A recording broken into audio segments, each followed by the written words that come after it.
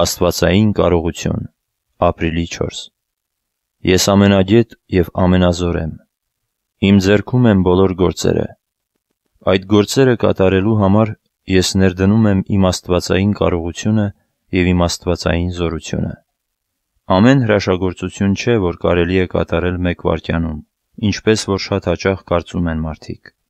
Միթե իմ աշակերտ Պետրոսը մի վայրկյանում པարզ ձկնորսից փոխվեց ու դարձավ ուսուցիչ ու առաջնորդ։ Ես նրան փոխում ու կերտում էի անգամ իր պարտության ժամանակ, որ เป զի նա լիներ այն, ինչ որ դարձավ։ Շատախոս,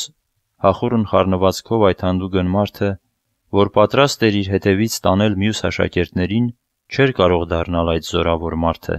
եթե չսովորեր ճանաչել իր տկարությունը։ Ոչ ոք չի կարող փրկել, եթե չհասկանա մեղավորին։ Պետրոսը, որ ի վերջո հզոր ուժ դարձավ ինձ համար, ով բոլորից ավելի հաստատեց իմ եկեղեցին։ Ի սկզբանե բնավ էլ այն Պետրոսը չէր, որ ասաց. «Դու ես Քրիստոսը, Աստծո որդին», այլ այն Պետրոսն էր, որ ուրացավ ինձ։ Նա, որ իր նվաստացումի ու զղջումի ժամին իմ ներումի փորձառությունը ապրեց,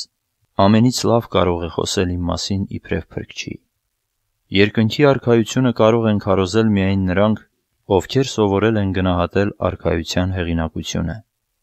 Անհրաժեշտ էր, որ իմ աշակերտները բազմակողմանի կրթություն ստանային։ Ուրեմն ուրախ եղեք ու ցնծացեք։ Սիրում եմ ձեզ։ Չեմ ենթարկի ձեզ անգամ մի ավելորդ փորձության։